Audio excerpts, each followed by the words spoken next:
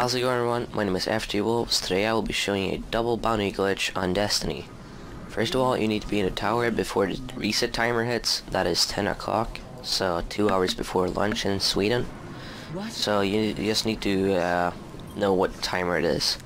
Um, you want to be in the tower before the timer hits, and you're just gonna be here, and then uh, new bounties will pop up. As you see, there's three three new. Just pick them up, and I'm gonna go ahead and complete these. You must be in the same session all the time, so if you get disconnected, you cannot do them. Revenge moves in. Keep safe. Once you've done the uh, bounties, you just want to go to Eris, or whoever you just did the bounty glitch with. It can be Iron Banner, Vanguard, whatever. You just want to turn in the bounties,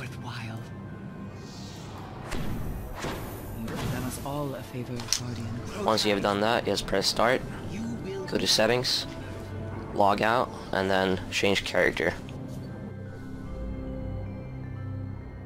And then you just want to pick the same character as before that you did a glitch with. If you pick a different character, uh, the bounties will not reappear. So for my, uh, uh, for me it was the hunter, my main character. So.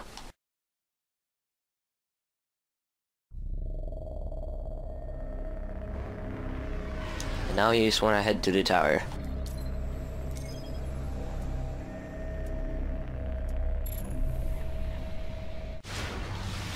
Once you're here, go to Eris, Vanguard, Iron Banner, whatever that you did a glitch with.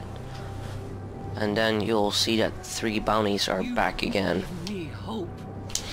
You can complete this again, but you will not be able to do the glitch again. Uh, you can only do this once per day on one character in one same session.